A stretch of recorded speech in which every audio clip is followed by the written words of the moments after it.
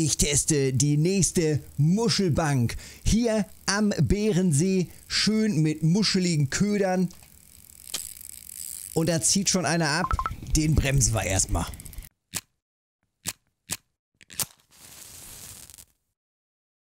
Also, ich stehe hier am Bärensee. Es wird mal wieder Zeit mit meinen Fiederrouten diesmal. Also nicht mit dem super dicken, fetten Setup, sondern mit den Fiederrouten und den darauf gebauten HSV-Rollen. Auch noch nicht mal gepimpt. Das heißt, ich habe hier so ungefähr 15 Kilo an Bremskraft auf den Rollen. Ähm, und das muss reichen hier am Bärensee, denn wir sind ja hier auch noch relativ klein unterwegs. Ich stehe jetzt hier gerade seit zwei, drei Minuten erst, gerade frisch hier hin. Und ich habe mir gedacht, komm, Alter, teste doch einfach mal die nächsten Muschelspots. Bisher auch noch ohne Futtermische. Einfach nur hingegangen, rausgeworfen mit muscheligen Ködern und dann mal gucken, was geht. Hier hat gerade auch was gezuppelt, das hat aber schon wieder aufgehört. Dann ist aber jetzt hier was dran. Sehr schön. Ja, und jetzt geht es halt los. Ne? Einfach mal testen, ob hier an dieser Stelle auf der Muschelbank nicht auch so ein bisschen was rauszuholen ist. Und vor allem teste ich halt, wie gesagt, erstmal ohne PVA oder irgendeine Futtermische. Einfach erstmal die Muschelköder reinwerfen und gucken, was reinbeißt. Und bisher sieht es gut aus. Gar nicht verkehrt. Ähm, ich habe jetzt hier zwei Routen, also die beiden äußeren hier ähm, auf Pop-Up-Rig und die erste hier ist auf ähm, klassischer Haarmontage. Auf die Sets gehe ich gleich nochmal äh, detaillierter ein. Erstmal gerade gucken, wie es denn hier so anläuft. Und ich muss sagen, bisher wirklich schon ganz okay.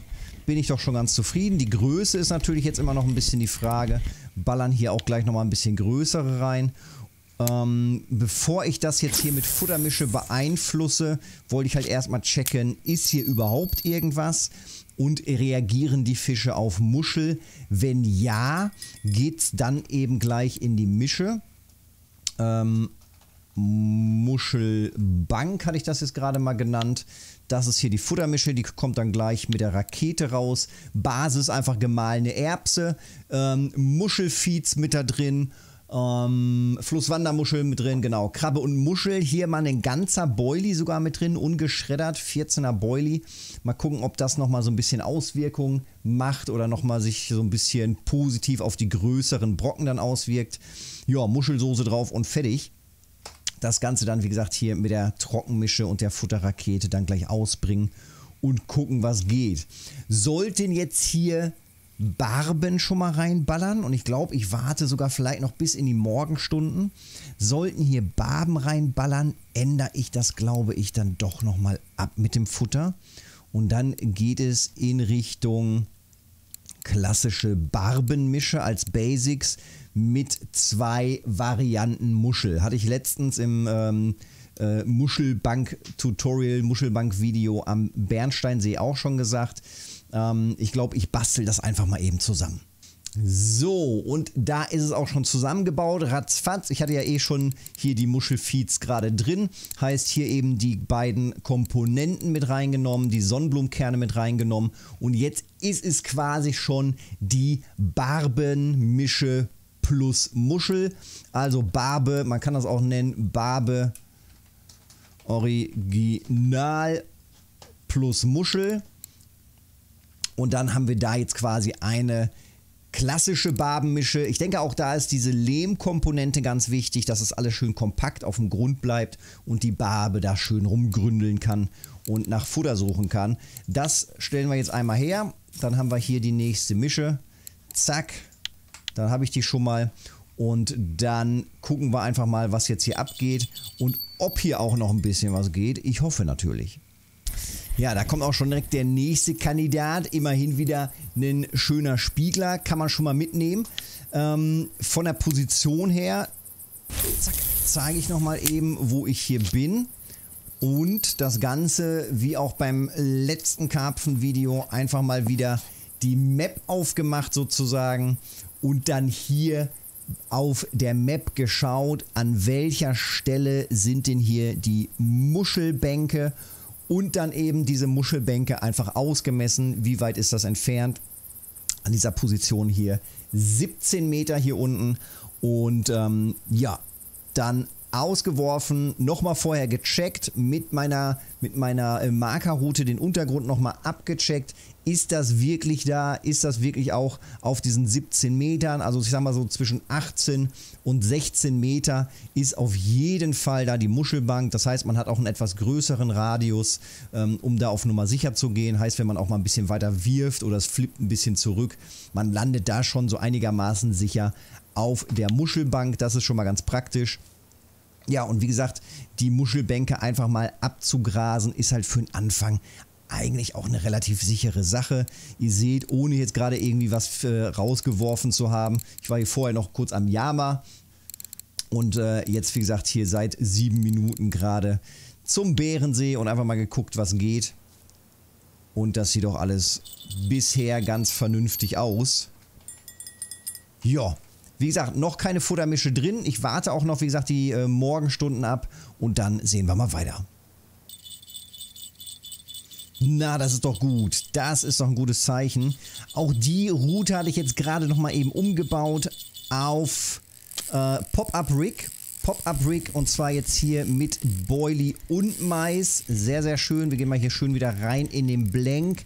Gerne ein bisschen so schräg hochziehen plus hier schön in diesen 90 Grad Winkel wieder einmal hart rein in die Route, damit der Fisch ordentlich zu kämpfen hat dagegen. Und dann kurbeln wir schön langsam ein. Sehr gut, ey. Aber der hat auch noch Bock, deswegen lassen wir ihn auch noch ein bisschen ziehen, wenn er Bock hat. So, komm mal ran hier. Sehr schön. Ja, also hier ist auch nochmal die Kombination. Wie gesagt, auf klassischer Haarmontage war hier nichts. Vielleicht hätte ich da auch noch ein bisschen rumexperimentieren können. Und zwar einfach nur mit einmal äh, Pellet oder einfach nur ein Boilie. Wäre vielleicht noch ein bisschen besser gewesen, ähm, dass das nicht so viel große Köder auf einmal sind. Bisher sind es auch noch nicht so die richtig großen Brocken hier. Zack, immerhin nochmal ein Spiegel. Kann man machen. 8, ist doch schon wieder ganz okay. Also, kann weitergehen. Hier jetzt nochmal ein Blick eben aufs Setup. Ähm, das ist jetzt hier, wie gesagt, die Kombination ähm, wieder mit dem Muschel, Muschel Pop-Up Mais, 16er Knoblauch und Muschel. Ähm, Einserhaken hier komplett. Dadurch, dass ich hier auf der Musch Muschelbank bin, hatte ich jetzt diesmal dieses LED-Core hier verwendet dieses bisschen gräuliche, ähm, plus dann einfach nur ein steiniges Blei. Und dann hier mit 19 Kilo Mono auf der Kaliber HSV hier das Ganze. Und wie gesagt, hier auf meinen Fiederrouten. Ähm, ja, wie gesagt, diesmal nicht mit den Karpfenrouten, sondern ein bisschen leichter hier unterwegs, bisschen feiner. Muss eigentlich auch gehen. So, das wieder raus damit. Hier ein bisschen zuppeln. Ja, wir haben jetzt gleich hier 4 Uhr und dann gucken wir mal, dass wir noch ein bisschen Futter rausbringen. Sehr gut, da geht's los hier in den Morgenstunden. Ja, jetzt so bis zur Mittagszeit, das wäre doch jetzt ideal nochmal hier für ein paar feiste Karpfen. Bisher leider noch keine Barbe, alles Spiegelkarpfen bisher hier an der Stelle. Zack, gucken wir mal, ob da was geht. Oder ich schmeiß tatsächlich die Barbenmische rein. Hm, vielleicht verjagen wir dann die Spiegelkarpfen und wir haben dann eher nochmal eine Barbe hier. Wäre eigentlich ganz interessant, ne? Oder ich, ich baller einfach alles beides rein. Einmal hier. Ja, beziehungsweise ich guck mal. Also ich würde sagen, ich guck mal nach der, hoppala, nach der Barbenmische. Testen wir das mal. Testen wir mal die Barbenmische. Barbe Original war das, ne? Da ist sie. Barbe Original plus Muschel.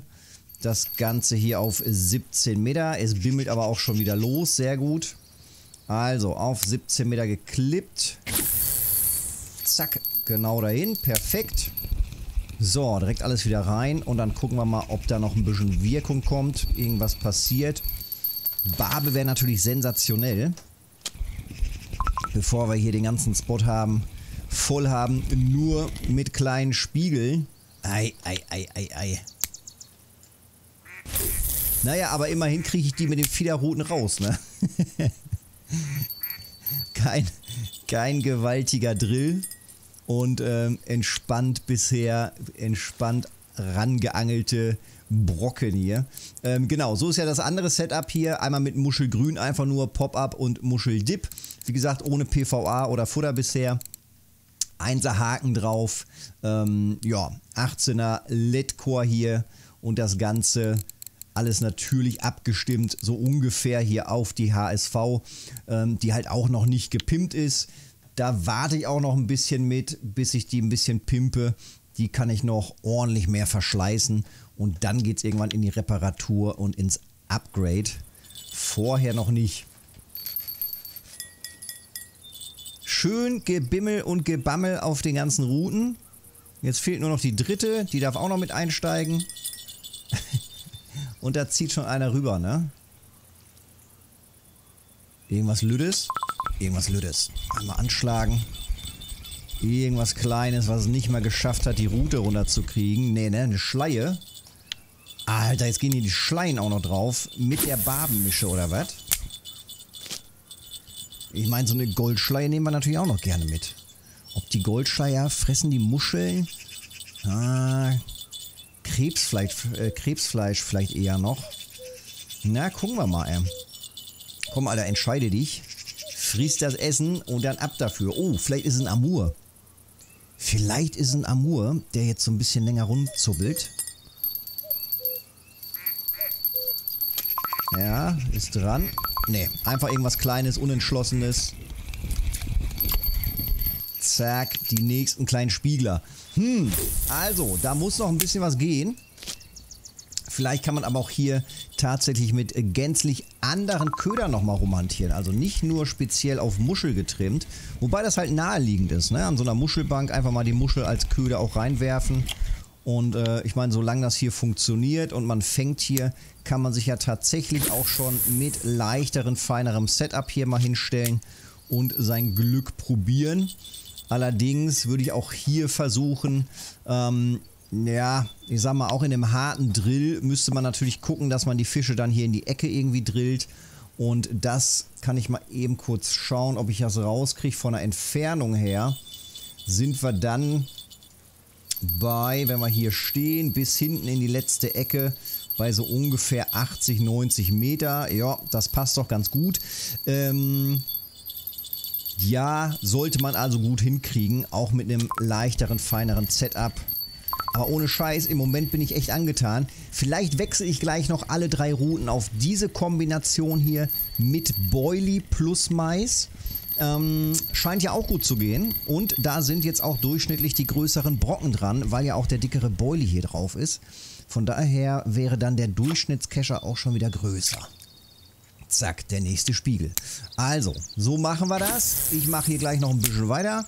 Wenn das Ganze geholfen hat, Daumen da lassen fürs Video, Kanal abonnieren, damit die nächsten Videos nicht verpasst werden. Denn da kommen jetzt demnächst auch noch ein paar Spinning-Tutorial-Videos. Und dann sehen wir uns in einem der nächsten Videos oder im Livestream auf Twitch. Montags, Mittwochs, Freitags immer um 19 Uhr. Petri.